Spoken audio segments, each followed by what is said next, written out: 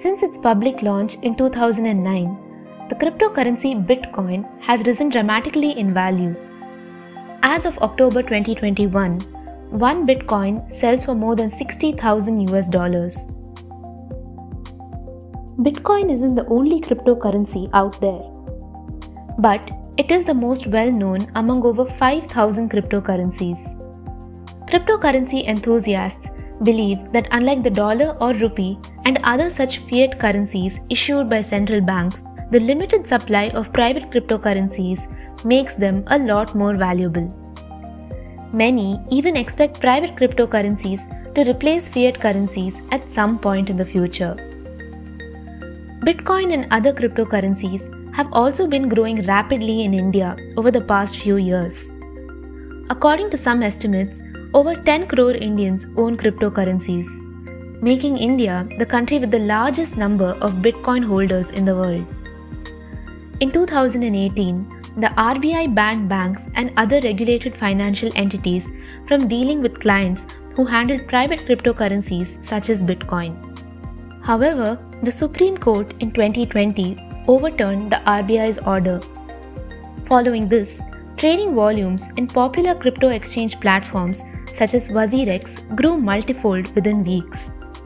Other popular Indian platforms that have emerged to facilitate trading in cryptocurrencies include CoinSwitch Kuber, CoinDCX, ZebPay, and BuyUcoin.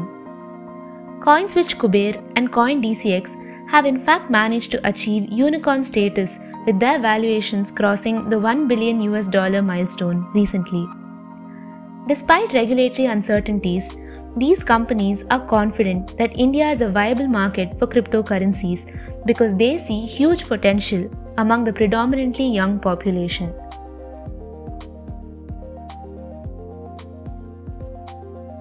Bitcoin enthusiasts see the rise in the price as a validation of their belief that private cryptocurrencies are a viable alternative to fiat currencies.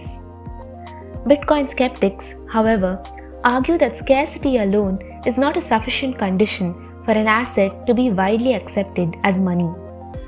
They see the meteoric rise in the price of Bitcoin as driven by speculative mania rather than by the fundamental value.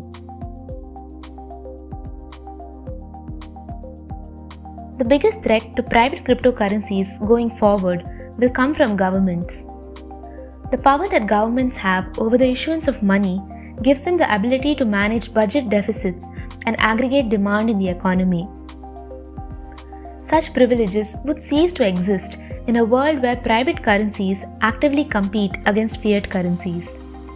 So, it is highly unlikely that governments will allow private cryptocurrencies to flourish as alternative money. In India, it should be noted that the 2018 Supreme Court order does not put an end to the primary uncertainty over the legal status of private cryptocurrencies. The Centre may well pass a new law that either completely bans or heavily restricts private currencies. China has already deemed all private cryptocurrencies as illegal and banned them. It soon plans to issue a central bank digital currency that is based on the same blockchain technology on which private cryptocurrencies work. More governments may adopt the same approach in the coming years.